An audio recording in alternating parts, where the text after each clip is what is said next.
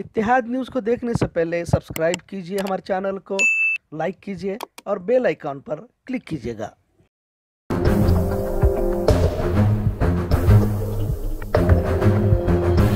अस्सलाम वालेकुम रहमतुल्लाहि वबरकातुहू। इतिहाद न्यूज़ में आप सभी का खैर मकदम है। अहम खबरों पर एक नज़र।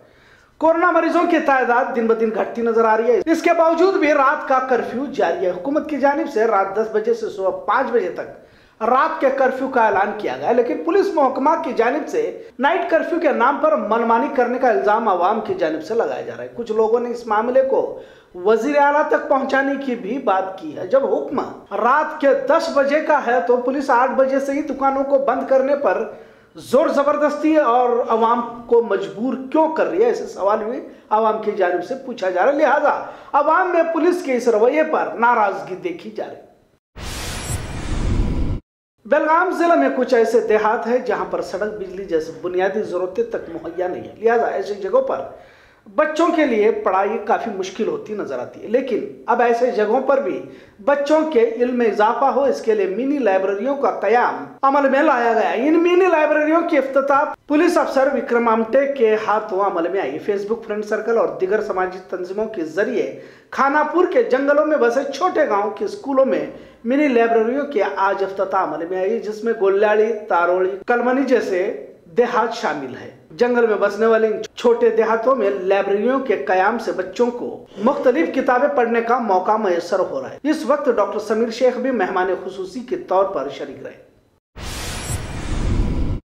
आज एमएस मराठी तंजीम की जानब से कन्नड़ और अंग्रेज़ी स्कूली किताबों में संभाजी महाराज के ताल्लुक से जो एक मराठा बादशाह था तोहन आमोज मजमून होने की बिना पर एतराज़ दर्ज करते हुए आज डीसी दफ्तर में अपना मुतालबा पेश करते हुए उस मजमून को ही किताबों से निकालने की मांग की है। और किताबों को नए से शाया करने की भी मांग की गई। जानबूझकर मराठाओं की तारीख को बदनाम करने की साजिश बताते हुए जल्द कार्रवाई का मुतालबा पेश किया गया। इस वक्त शुभम शेड़के और दिगर एमएस कारकुनान मौजूद थे।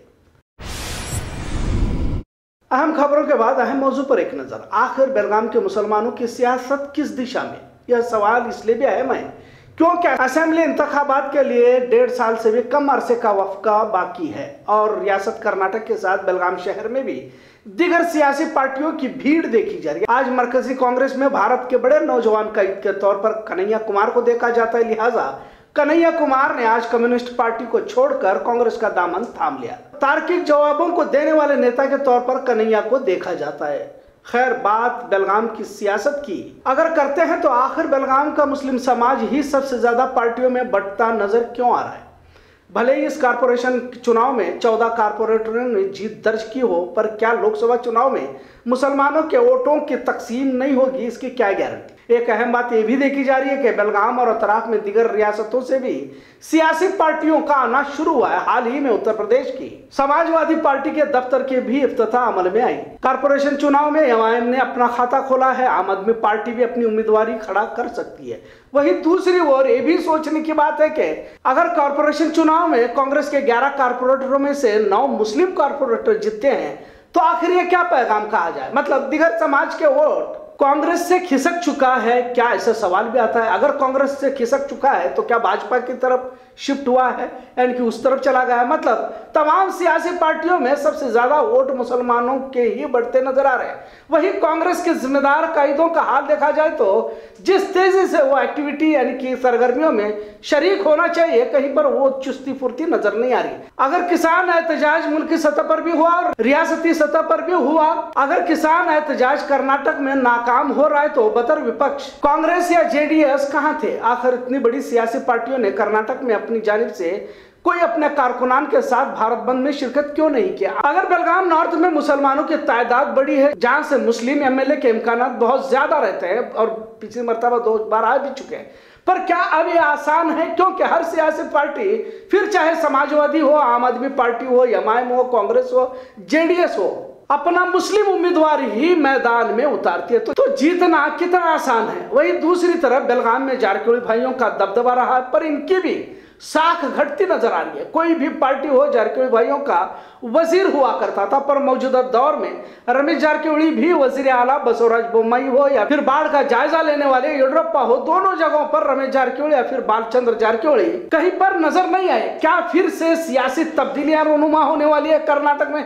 क्योंकि वैसा भी कर्नाटक का नाटक अक्सर मशहूर रहता है। ऐसी भी चर्चा सियासी गलियारों में कई सुनी जा रही है। खैर, मसला मुस्लिम कायदों के सियासी वजूद का है।